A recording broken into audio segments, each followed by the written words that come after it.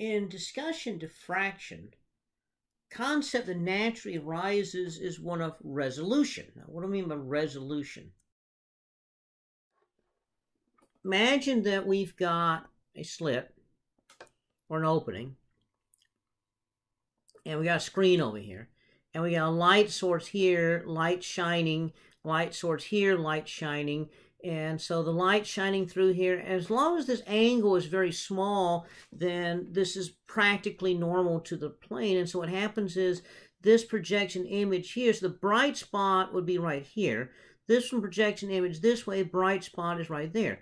So, so the narrower the opening, the more the light spreads out. Uh, the wider the opening, the less the light spreads out. Well, at some point, you realize that these two bright spots begin to overlap and it looks like one big bright spot and then you can't tell that you had two sources of light anymore. Now it's like just one big source. And so this is the idea of resolution and so the idea is how do you know what's the minimum spacing that you can have in order to maintain resolution to separate these two things out. And so uh, one uh, possible solution to this was actually proposed by Lord Rayleigh. And that was that if the two bright spots are sufficiently separated, then you can easily tell. But if they're too close together, it all merges. When you add all the light together, it merges together to make one large spot.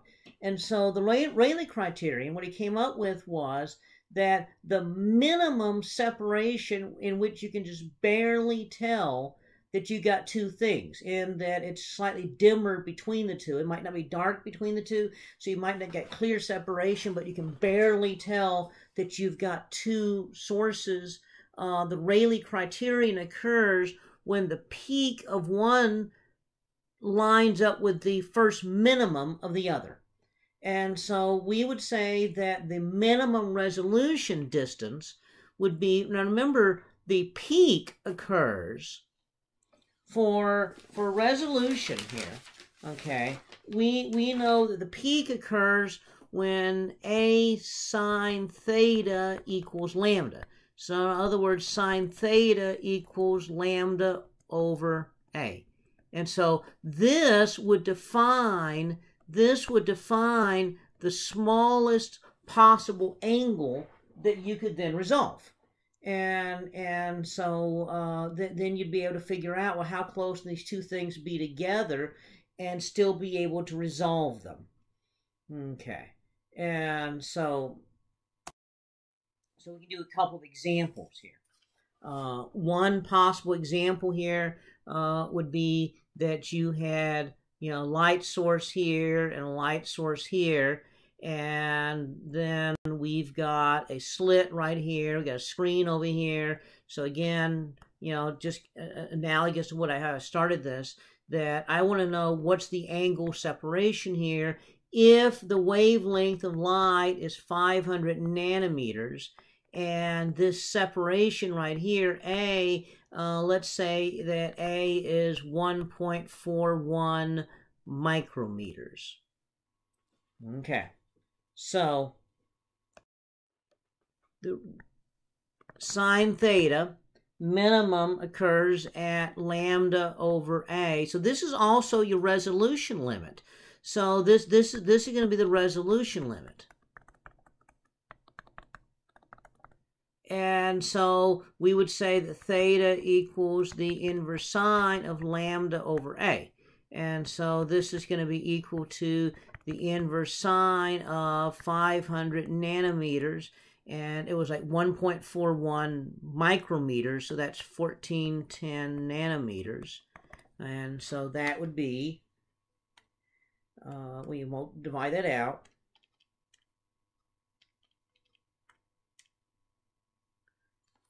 Twenty point eight degrees. Well, gosh, that's pretty pitiful. Uh, 20.8 degrees. Uh, uh, uh, well, that means anything that's closer than 20 degrees apart, you'll never be able to tell you actually get two different sources there. And so this is what happens when the size of your your um, aperture is close to the size of the wavelength.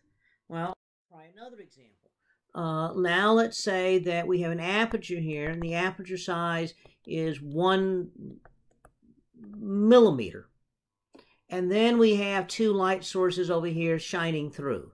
Okay, and so I want to separate them. So now sine theta, okay, uh, we're still going to say 500 nanometers wavelength, okay, is lambda over A. So theta equals the inverse sine lambda over A. So inverse sine of 500 nanometers.